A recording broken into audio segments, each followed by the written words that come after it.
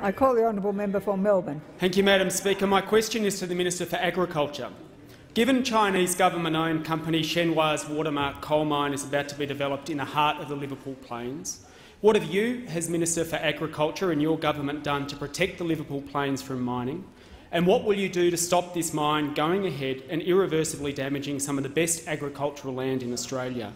Doesn't massive coal mining in the heart of some of the most fertile farmland in the country demonstrate the failure of the National Party to stand up for farmers against the mining industry? The Parliamentary Secretary will desist and the Minister for Agriculture has the call. Question for the copy. Well, um, Madam Speaker, I thank, I thank the honourable member for his question.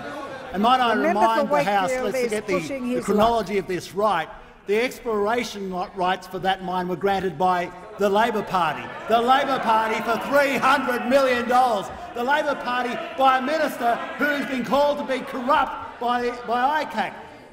Minister Macdonald, you remember him, wouldn't you? One of yours, Minister Macdonald, for $300 million.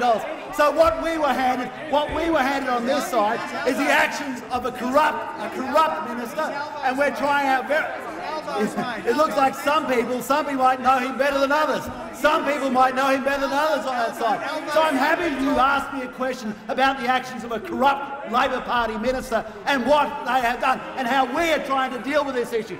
And I acknowledge that the only area that we now have to deal with it is under the water trigger. But we can only deal with it in a specific area. And might I suggest that we are looking at this, we are doing our very best in the very limited area we have, because it's state legislation and a corrupt Labor Party minister set this up.